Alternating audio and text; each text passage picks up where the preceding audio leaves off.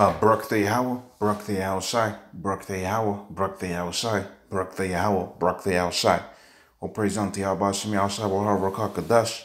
Uh, double honors unto the apostles, a great millstone. Ownership offers will be pushing the truth and sincerity throughout the four corners of the earth. So this is going to be a quick video on update of the uh, current situation between Israel and the um and and the Iranians. So this is going to be a quick, quick, quick uh video. Okay, so pretty much, um, this is really going into the um the the um the words that's been passed back and forth between Israel and Iran, and we know uh Israel is associated with America, and we know are heavily associated with America, and we know that Iran is heavily heavily associated um uh with Russia. Okay, so when we're talking about uh um Iranian naval commanders are threatening to sink U.S. ships. Okay, this is you know this ain't this ain't a bad this ain't a good thing, you know. But really, when you're going into the, the prophecies and we go and you're going into the hope that you're supposed to have in Yahweh Shai, then pretty much this is a good thing because this is gonna bring about the end.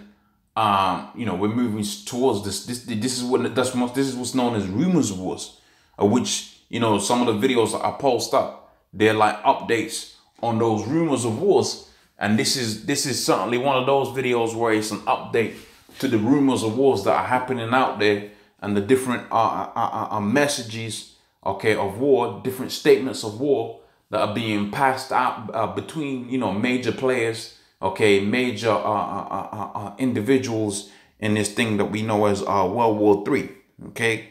So it says President Trump offered some of the most um, belly scope rhetoric yet about Iran on Tuesday. Okay, and I believe I even did a video on that. And I said Iran would have bigger problems than they have than they have ever had before.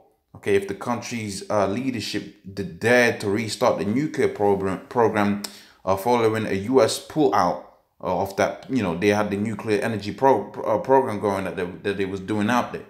He says, and then today, a top Iranian general, not just some random Joe Bloggs on the street, okay, top Iranian general hit back Trump with an aggressive threat to sink, okay, United States ships, okay, warning, while warning that the United States will find itself in a catastrophic situation, of which it will do. Because you remember, when uh, uh, Iran goes out there, they're gonna, you know, they're gonna go out there and and and um and call on their buddies, which is the Russians. Okay, they ain't just, you know, Iran is a, a is a speck, okay, on the grand scheme of things. But when you got it to where you got backing from major nuclear powerhouses such as Russia, then you can certainly speak in some kind of way, which is the way that they're speaking in this article right here, which calls to mind the scripture within the book of Ezekiel, where it talks about uh, uh, um, um, Russia, and Russia was going to be a god unto these different nations to the end that they was going they was going to remember their true true nature.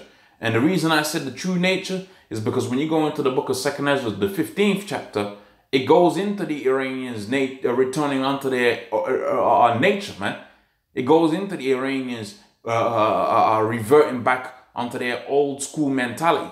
It says the Carmanians also raging in their, you know, raging in their wrath, remembering what? Remembering how they used to be. Okay, because the Iranians, which is the Persians, okay, they go back. They have a, a long legacy of warlike acts of which they're not really, uh, uh, uh, uh um, you know, uh, been in that spirit for the longest.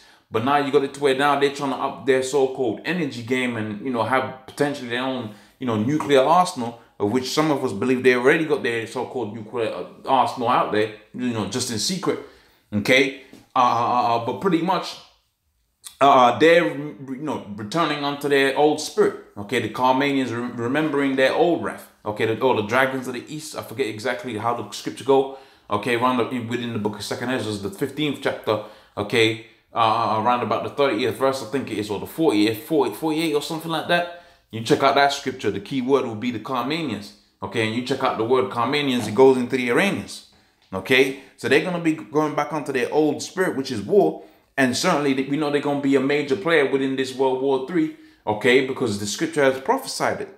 Okay, so let's carry on with this. It says, while warning the U.S. will find itself in a catastrophic situation, because like I said, this is, you know, all of this rhetoric that you got between Syria and America, Iran and Israel, and all of these different things, okay, these are all uh, uh, uh, um, major players, of which if any one of them was to go and have an all-out war, okay, uh, you know, if, if, if Israel decided to have an all-out war with, with, with Syria, then you can probably, you know, you could be sure that the Russians going to be involved in it. The same thing goes for Iran, etc., etc., etc.